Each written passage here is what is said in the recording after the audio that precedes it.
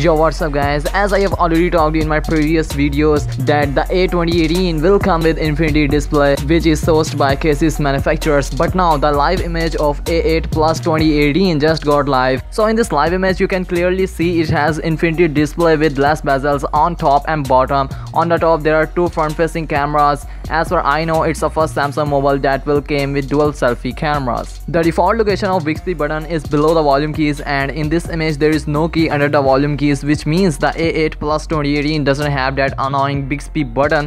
Thank you so much Samsung we all are waiting for this. So taking a look at the software info the model number for A8 Plus 2018 is SMA730F. So right now there is no information about the exact specifications of A8 Plus 2018 so I'm not gonna talk about that because they are still unknown. So yeah let me know what you guys think about a8 plus 2018 with infinity display in the comment section down below. Subscribe the channel for more. Give this video a thumbs up and i'll see you guys in the next one.